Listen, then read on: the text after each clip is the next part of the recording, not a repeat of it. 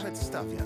Życie Miśka Krzyśka było słodkie jak miód. Tylko nie! Dopóki pewien zalatany bocian nie dostarczył mu przez pomyłkę małej pandy. I teraz dzielny Misio i jego przyjaciele muszą odstawić malucha do domu. No, za co? Cześć!